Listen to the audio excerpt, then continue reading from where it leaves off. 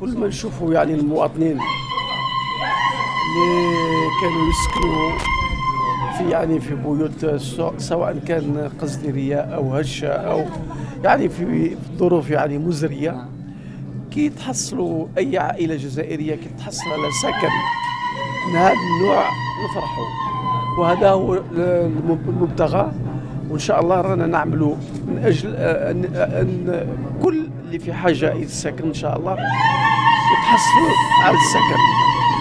الهدف نتاعنا هو آه، مثل ما آه، أمر فخامة رئيس الجمهورية وقرر وسخر الإمكانيات.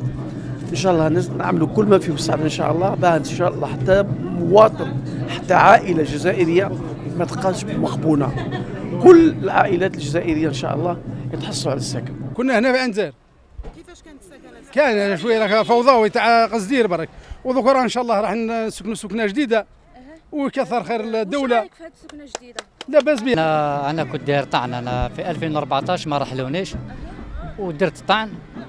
وقعدت قريب ثلاث سنوات وأنا نبات برا مع مرتي وولادي. والحمد لله رب العالمين. آه، ما نقولوا الوالي والآخر خدموا خدمتهم. وربي سبحانه شاف فيها خير هذو؟ والله غير ما شاء الله